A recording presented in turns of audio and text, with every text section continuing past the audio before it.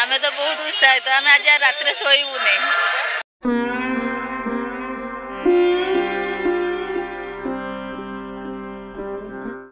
ମହାପ୍ରଭୁଙ୍କ ଦର୍ଶନରୁ ନୂଆବର୍ଷ ଆରମ୍ଭ କରିବେ ଭକ୍ତ ରାତି ଗୋଟାଏରେ ଦ୍ୱାରପିଠା ନୀତି ପରେ ଭକ୍ତ ଓ ଭଗବାନଙ୍କ ମଧ୍ୟରେ ଦେଖାଯିବ ଭବ୍ୟ ସମାଗମ ତେବେ ଏହାକୁ ନେଇ କେତେ ଉତ୍ସାହିତ ଅଛନ୍ତି ଭକ୍ତ ଆସନ୍ତୁ ଶୁଣିବେ हाँ जैसे कहते हैं ना कि नया साल शुरू होगा तो बहुत ज़्यादा मतलब खुशी है कि हाँ हमारा नया शुरू हो रहा है। हम बहुत खुश हैं।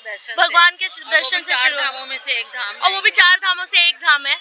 एक तीर्थ धाम है तो हम बहुत खुश हैं। बहुत एक्साइटेड है पूरे परिवार के साथ हम यहाँ दर्शन करेंगे और अपने नए साल का आरंभ करेंगे पूरे परिवार के साथ। बहुत खुशी हो रही है। बस मन में मन्नत थी पहली बार वो पूरी हुई। हम दिल्ली से आए हैं और भगवान के दर्शनों को जब पाएँगे तो मतलब एक अलग ही एक्साइटमेंट फील हो रहा है कि नए साल की शुरुआत हम भगवान के दर्शनों से करेंगे। हम जो है भगवा बिहार से आए हुए हैं।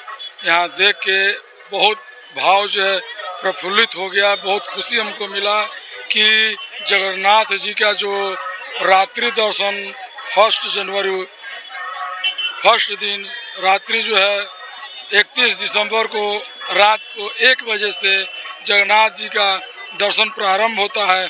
जिससे हमारे अंदर ये बहुत बढ़िया जो है उत्साह और खुशी देखने को मिला है ସୁକିନ୍ଦା ଯାଜପୁରରୁ ଆସିଛୁ ଆଉ ପ୍ରଥମ ଥର ପାଇଁ ଆମେ ରାତି ଉଜାଗର ରହିକି ଠାକୁରଙ୍କୁ ଦର୍ଶନ କରିବୁ ସେଥିପାଇଁ ଆମେ ବହୁତ ଉତ୍ସାହିତ ଅଛୁ ବହୁତ ଭାବ ଅଛି ମୁଁ ବି କେବେ ଭାବିନଥିଲି ଆଉ ଆସିକି ଦର୍ଶନ କରିମି ବୋଲିକି ଆ ପୂର୍ବରୁ ଥରେ ଆସିଥିଲୁ ଆସିବୁ ବୋଲି ଭାବିଥିଲୁ କିନ୍ତୁ ଆମର କ୍ୟାନସଲ୍ ହେଇଯାଇଥିଲା ତେଣୁ ଆମେ ବହୁତ ଉତ୍ସାହିତ ମାନେ ମନରେ ଅଛି ଆଉ ଠାକୁରଙ୍କର ସେତିକି ଇଚ୍ଛା ନଥିଲେ ଆମେ ହୁଏତ ଆସିପାରିନଥାନ୍ତୁ ଆଜି ଆଜ୍ଞା ଆମେ ତ ଓଡ଼ିଶାବାସୀ ପ୍ରତି ମୁହୂର୍ତ୍ତରେ ଉତ୍ସାହିତ ଜଗନ୍ନାଥଙ୍କୁ ଦେଖିବା ପାଇଁ ଏବେ ବି ଆମେ ଦେଖୁଛୁ ମନ୍ଦିର ମାନେ ବହୁତ ଫାଙ୍କା ବି ଅଛି ସାର୍ ବାରଟା ଗୋଟେ ପରେ ଜାମ୍ ହେଇପାରେ କି କ'ଣ ଆମେ ଜାଣିନୁ କିନ୍ତୁ ରହିବୁ କିନ୍ତୁ ଆମେ ବହୁତ ଉତ୍ସାହିତ ଅଛୁ